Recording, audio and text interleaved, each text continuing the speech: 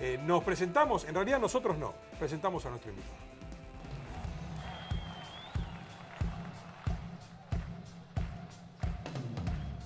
¿Quién es este arquero que se destacó en la década de los 80? Te ayudamos. Mide un metro ochenta. Comenzó su carrera en Vélez. Con esta foto lo tenés que sacar. Sí, como dice la figurita, Julio César Falcioni, que en su juventud se destacaba bajo los tres palos, como lo mostró el día que le atajó dos penales seguidos a Atlético Nacional. Y el zorro que es Falcioni se la adivinó y fue tras ella y mantuvo el 0 a 0. Le pasó por debajo del cuerpo a Falcioni, pero reaccionó y garantizó otra vez al América en la Copa. En Colombia lo apodaron el Zorro.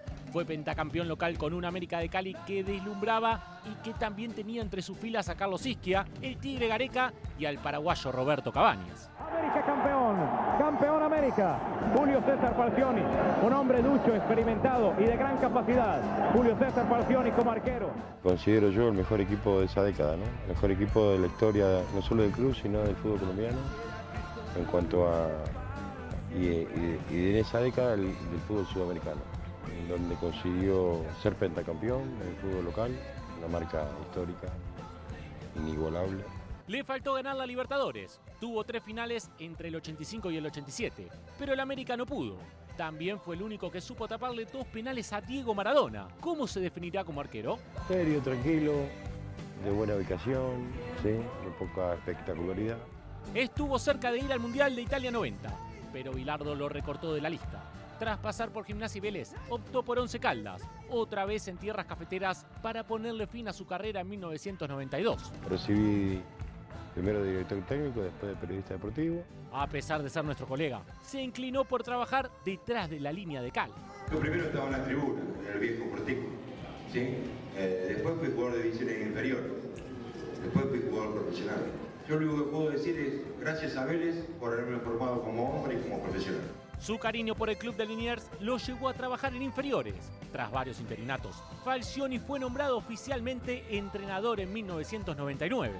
Cumplió una etapa importante, creo que dejó un plantel muy importante para la institución y esa es mi mayor satisfacción. Luego de dejar Olimpo en primera, hizo su desembarco en Peña y Arenales allá por 2003. Bajo su conducción, clasificó al taladro a la Libertadores 2005, llevándolo hasta cuartos de final. Se fue, pero volvería. Tras sumar experiencia en Independiente, Colón y Gimnasia, retornó al sur en 2009. Aparecieron las banderas en agradecimiento para Julio César Falcioni. Miren la cantidad. El cariño de la gente de Banfield es enorme, no es para menos, ya que obtuvo la apertura 2009, única estrella en la historia profesional del club. Era su primer título como entrenador, lo que le significó ser el primer ex arquero en coronarse campeón en primera. Esa consagración, justo en la mítica bombonera, hizo parar las antenas de los dirigentes ceneices. Creo que es lo máximo que puede aspirar cualquier técnico de fútbol.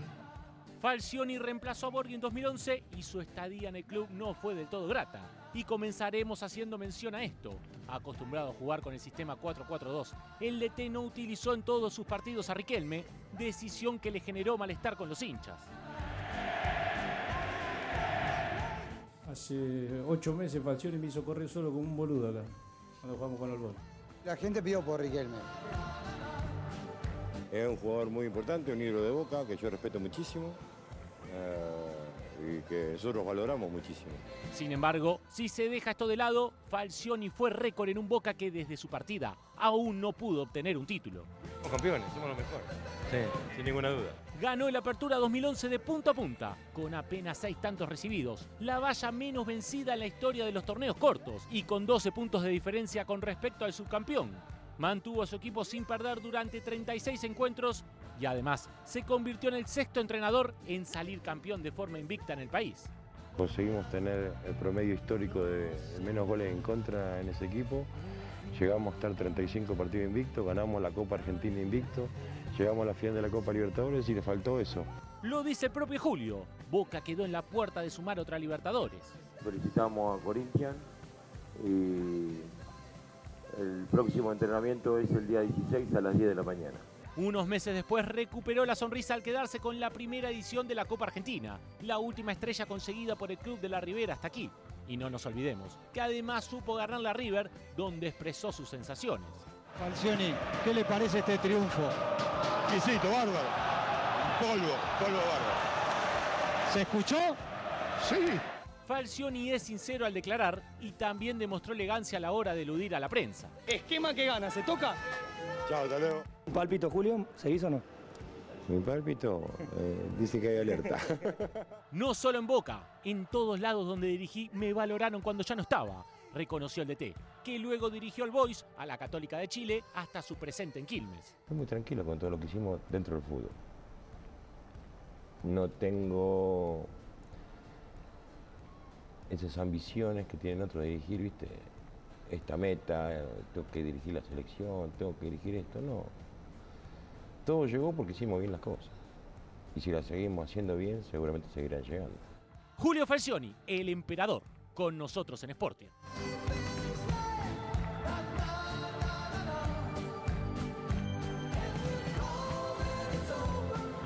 Y antes de que Julio Falcioni nos diga si eh, le complace este, este resumen, que en realidad es un, es un resumen basado en hechos que lo tuvieron a él como protagonista. Pero eso que aparecía en el final del informe, claro, desde que Falcioni se fue de Boca a Boca no volvió a ser campeón. Y nunca quedó claro qué tan convencido estaba Angelici de que se fuera Falcioni. Pero aprovechamos que está él con nosotros y le agradecemos, por supuesto, la presencia a esta hora. Gracias. Gracias, ¿por qué? Fabio El Tocman. resumen. De Fabio Tocman, el resumen. ¿Le Impecable. tocarías algo al resumen ese o te parece No. justo? Cuando hacen un resumen es parte de lo que uno ha hecho o ha- y, y está bien. Le dijimos, no pongas el gol de Aguirre, lo único que te pido. Sí, sí. ¿Es lo que más te duele de toda tu carrera de arquero? Mm, Puede ser, es una de las cosas. Las tres finales de América fueron. nos golpearon bastante. eh,